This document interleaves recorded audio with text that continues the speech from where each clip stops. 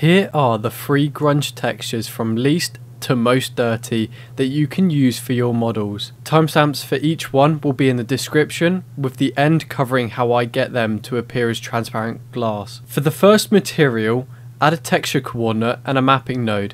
You can either plug it in from the object or UV output into the vector of the mapping node. Now add a noise texture Musgrave texture and a color ramp. The noise texture has a scale of 2.8, detail is 2, roughness is 1 and distortion is 0. For the Musgrave texture, make sure it is set to FBM, scale is 5, detail is 10, dimension is 2 and lacunarity is 2. For the color ramp, we only want to move the black slider to 0.35 and change it to B-spline. We can then duplicate these as we only need to change the color ramp by simply hitting this arrow button and flipping the color ramp. These are then to be plugged into a mix node that is set to color, then multiply with the factor set to 1. We then want to add another noise texture set to scale 5, detail 15, roughness to 0.55 and distortion to 0. Then this is to be plugged into a color ramp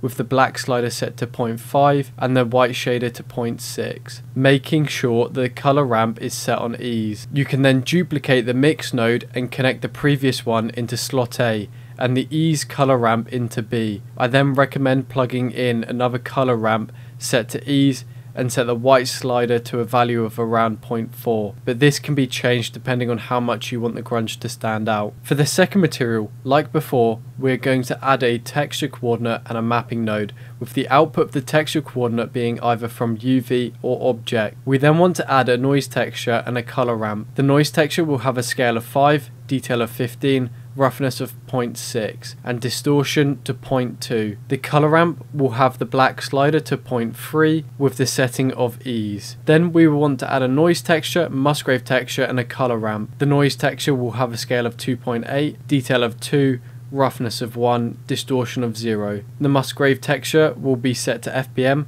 have a scale of 7.9, detail is 10, dimension is 2, lacunarity of 2. The color ramp will be set to B-spline with the black slider set to 0.35 and the white slider at 0. We can then duplicate the noise Musgrave and color ramp as we only need to change the noise texture to have the scale of 2, detail of 1.5 and distortion at 0.4. These will be connected using a mix node set to color then multiply with a factor of 1. The noise texture and color ramp we did at the start will then be connected to another mix node, identically to the one we just did with the color ramp going into A and the mix node going into B. We can then add another color ramp and depending on how much you want the grunge to stand out you can change the values of that. For the final material, add a texture coordinate and a mapping node. With the texture coordinate output, either being object or UV. Add a noise texture, Voronoi texture and a color ramp. For the noise texture, change the scale to 15.4,